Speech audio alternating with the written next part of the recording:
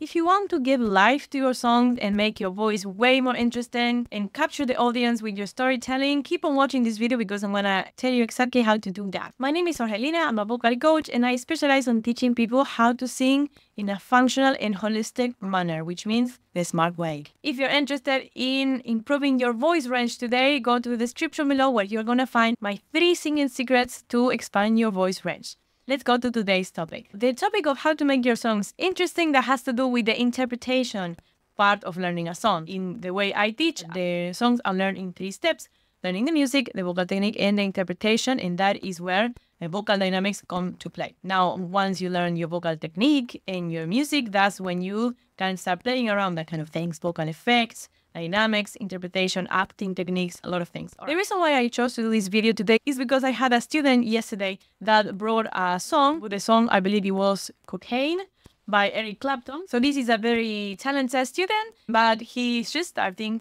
with singing. So he wanted to sing it with his guitar. He has a guitar and plays very nicely, but told me that the song kind of sounded flat, not in a pitch sense, but it sounded kind of boring, stable. I took a listen to the song and then I noticed that one of the um, things that give that song contrast is the instrumentation and also the um, counter melodies that the guitar does. There are lots of little details that make the song really interesting and that support the vocals as well. But this student only has a guitar and wants to play with, the guitar with the resources Uh, he has. He was very smart in telling me I need to make it more interesting with my voice. I thought that was brilliant. So we took a look at how to cover some songs. Now, since this student is just starting out with singing, I needed to find something that is suitable for beginners. Usually I don't start with interpretation techniques until a little bit later on, because at the beginning, technique is what gives you the possibility to get those interpretation techniques. But I thought it was appropriate this time. So we decided to use the tools of vocal dynamics.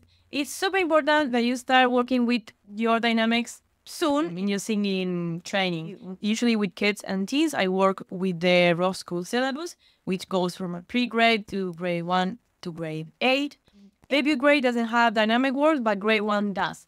And debut is supposed to be done in about four or five months. So that means that quite soon you start working with your fortes and your pianos. Within Dynamics, you can go super deep into that and be super fancy and differentiated. But the first thing you have to resolve is to be able to sing your pianos and your fortes, to be able to not sing everything the same intensity. Now, when we're talking about sound and we're talking about intensity, I mean how loud the sound is. The first thing you have to do is identify your piano and your forte. In singing, piano doesn't mean that instrument, it means soft. Piano means soft, forte means loud. There are some other um, dynamic marks that you have to learn later on, like fortissimo and mezzo forte and mezzo piano, pianissimo, that kind of things. The first step, can you differentiate piano from forte? Super important. Play around this. Normally, when people start singing and I tell them, give me a piano and a forte within the same song, maybe repeating a phrase, it sounds super similar. I can't tell which one is which. Well, I can, but it's super subtle. When you are practicing these dynamics, go wild. Make the softs super soft. Make the fortes super fortes. So, and this is super important because when you are working with vocal style and interpretation, forget about the technique. I mean, the technique, we, we use it, it's going to be there, but we are focusing on something else. And, and vocal technique will support that. For example, you can use the opening of the mouth and the activity of your articulators and the depth of your breath to support loud sounds, while you can use other resources to support your more softer sounds. If you haven't already, maybe you can just pause this video and just say one line of your favorite song, say it super soft, then super loud. You're gonna start hearing in the songs that you come across, you, you're gonna start identifying these pianos and fortes all of a sudden. Maybe you didn't do it before. Even if you didn't identify them, that really contributes to make the sound interesting. And sometimes the listener doesn't know what happened, but something happened. Now, this is something you will use in a normal conversation. And this is the magic of contemporary music, particularly. In a normal conversation, dynamics change. Once you start telling your story, we are chatting to a friend, the dynamics change. They go soft, they go wild, depending on your emotions. Because you don't have a static emotion that lasts for the whole conversation. It changes. The more you talk, the more you experience emotions in different degrees. And your song is the same. That makes you connect with the audience more, makes the song more interesting, makes it more healing for you as well. It helps you process your emotions, but I'm not gonna get into that, although it's a very interesting topic. All right, so next thing I want you to do is to think about numbers 1 to 10, where 1 is going to be as piano as you can get, so as soft as you can get, and 10 is going to be as loud as you can get. And remember, this is just an exercise. You're not going to sound like that in the songs.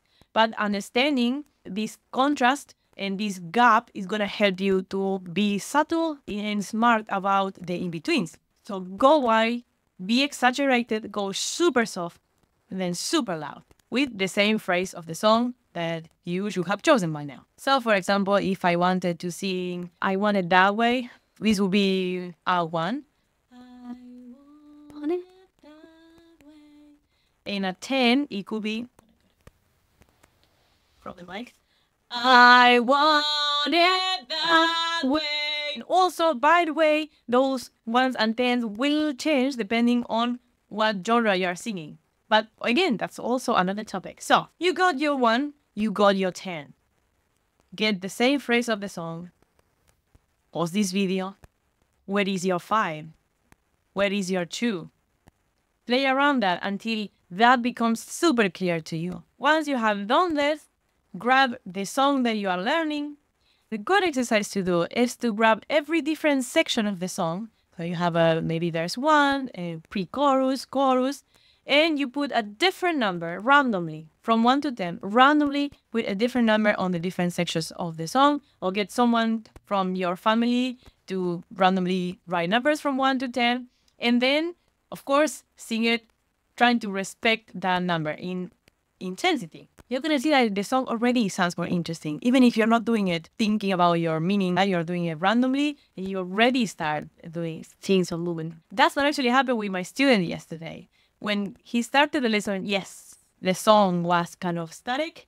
And just by doing this exercise, when he was singing, I was starting to feel something about the song. I was more engaged and enjoying it more. So it works. All right. So the next step, the way you're going to be using this for in a more practical way is, of course, in within the same section of the song, only one number, usually not realistic.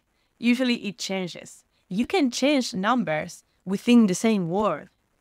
So go wild, play around that, maybe try different numbers in each line, maybe try different numbers every two words, play around it. Once you have explored these dynamics quite a bit, you're going to have a lot of information and a lot of tools to use dynamics in a way that support the meaning of your song. Yes, you don't want to make it static, unless it is for a very good reason, but it can be a really, really good way to, in an easy way, with, with resources that you already have, because your voice already is able to do soft and loud, because you do it when you speak. So use what you already have. And you're gonna see that you don't need to be an experienced singer, you don't need to be a super advanced singer to make songs beautiful. The more advanced you are, the more tools you have. But if you are creative, and you put the time that it takes, even if you are just starting, you can make a song very beautiful and you can move the audience with it. And before I go, I would like to give you a few examples. The um, three examples that I was thinking of songs that maybe give you a lot of possibility to develop this. The first time ever I saw your face, I really love that song. Also, the song Make You Feel My Love, Bob Dylan song by probably you know it by Adele as well. And uh, finally, of course, cocaine. Although cocaine, when I heard that, I could see that the vocals are heavily supported by the music. Play around this tool. It can make you really sound like a much more advanced singer than you might be if you are new to singing, just by being able to manage dynamics how you will do, as you do when you are normally speaking. Hope you enjoyed this video. If you did, like this video and subscribe to my channel so you won't miss out on my future videos.